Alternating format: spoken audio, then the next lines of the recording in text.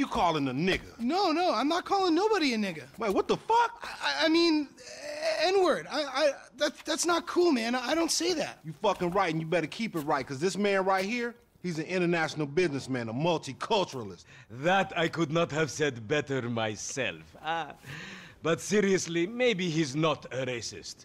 But I don't think that he is man enough for a car like this. Wait, wait a second. this guy right here, him, get him a hybrid. That's a real man's car.